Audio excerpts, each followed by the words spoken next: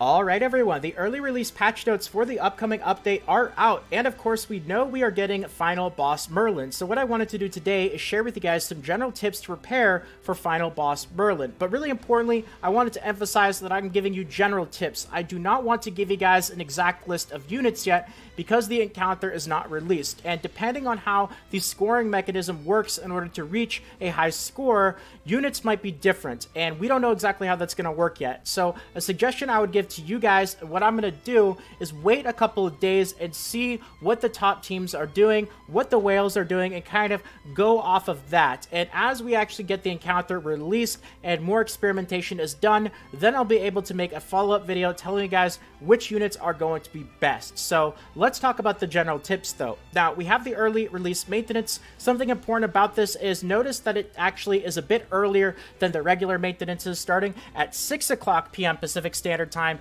instead of, I believe they usually start at 10 o'clock. And of course, it runs until 8.30, so two and a half hours. Now, there's a couple of other cool things that are coming as well, but with these maintenance notice, this is just the early one, and we'll have more detailed information soon. So I'll give you guys more important information about this update as we actually learn more info. So let's get into those general tips here to prepare for Final Boss Merlin. So first of all, let's talk about actually farming the encounter and getting the points to clear out the shop. And there's two different approaches that you can actually do. Now, one of them is just rushing it and trying to clear the shop as quickly as you possibly can, getting all those points right away and just buying out the shop. And you could do this probably, my guess would be in a couple of hours. But in order to do this, you're going to need stamina pots, right?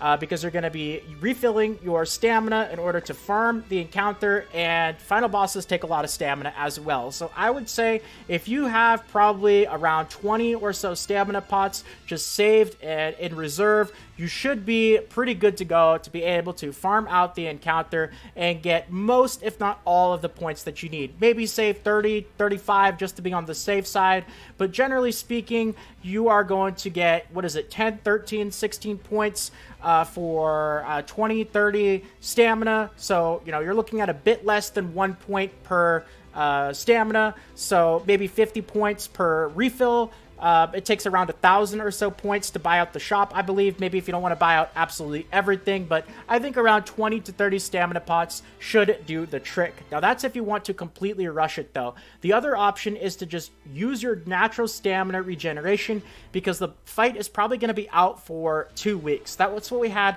for Gowther and just having your natural regeneration is going to be more than enough over the course of the final boss in order to clear out the shop. Now, an important note about that, though, is that while the encounter might last for two weeks, I would try to get as much done in the first week as possible because we are actually entering an off week where we do not have half stamina events. We are just ending half stamina on book farming, and that means this whole next week when Final Boss Merlin comes out, there's no half stamina, and it's a great time to use your stamina for the actual final boss. The second week, though, um, you might want to end up going back to half stamina events. It really just kind of depends on what you need for your account. So those are the two different ways to actually farm the encounter itself. Now, another thing is actually preparing the actual units that you're going to use without getting into the actual detail of those units. So what you want to do is actually be one step behind. You want to have everything ready to get a unit from, you know, the point right when you actually pull it all the way up to you are 6 star, fully maxed out, and ready to use in the final boss Merlin encounter. But what you do not want to do is actually work on those units right now because we still don't know which units are going to be best in order to reach those top high scores. But if you have everything ready, you're just going to be able to do it right away and you won't have to make that mistake of working on units right now that you think are going to be good, but not being sure, and then realizing that they're not actually good, and now not being able to get back all those resources that you just put into a certain unit. So just kind of going through here, a couple of important things. Of course, enhancement, experience, make sure that you have experience items in order to max out units that you might work on. Awakening, of course, very important. Make sure that you have not only the chalices and the cups in order to awaken, but actually the materials as well from all the chapters in order to get all the way up from 1 to 6 star. Um, another thing that is important is uh, equipment. I'll talk about in a second here because I think you could always just switch around equipment. That's not something you need to really necessarily do right now, but maybe if your equipment is really far behind, take an opportunity to actually improve and work on it. That's something that I actually really need to do.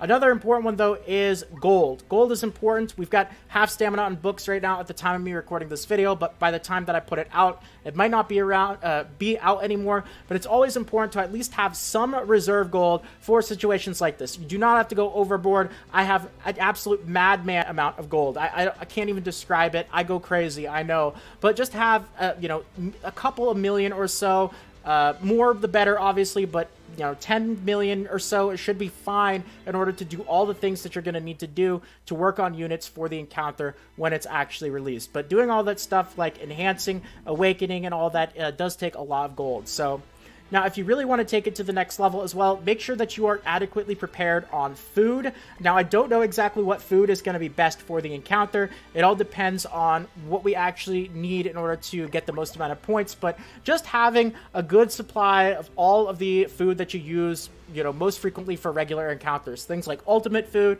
attack food, HP food, lifesteal, pierce straight, combat class. Those are, off the top of my head, the foods that I tend to end up using the most. So even if you don't decide to make it, at least just have some of the ingredients prepared here so that when you do find out what food's going to be best, uh, you can end up using it. And that'll probably also speed up your farming as well and help you clear out the shop. So Anyway, that's going to be it for the info in the video today. I hope that you guys enjoyed and that this video helped out. And if you enjoyed and you want more videos like this in the future, consider subscribing to the channel. Really do appreciate all the support, everyone. We passed over 6,000 subscribers lately, which is absolutely awesome. Thank you so much, everyone.